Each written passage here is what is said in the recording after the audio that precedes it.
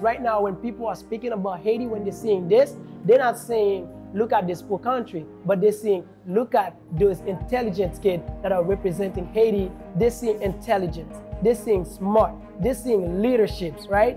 And that in itself is an impact. Back in Haiti, 90%, if I may say it this way, of schools that are in Haiti, they don't even have a science lab. They don't have a, a, a computer lab. The first time they came to our program, those kids, they didn't know anything about technology, right? Some of them don't even have a phone. That's the community that we are serving. They had only one week to prepare, and they've done it. They are here. It means a lot. It means hope. Because right now, with everything that is going on back home, people are focusing on us representing.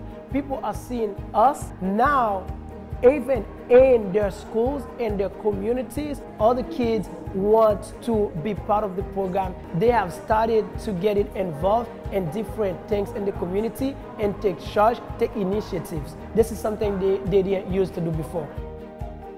Je pense que l'accès à STEM est important pour moi. D'abord, aider à canaliser les rêves. Oui, il y a un bagage que je me suis plus d'opportunités pour entrer plus dans le programme STEM. Pour ça, je suis capable d'aider les pays, aider les autres jeunes pareils moi et aider à réaliser les rêves.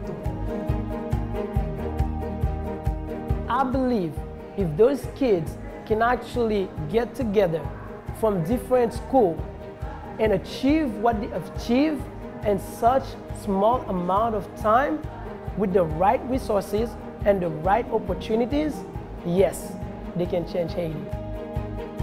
I would like to thank First Global for believing in us, for all the support and the opportunity that they've given these kids. That's a boost to the confidence.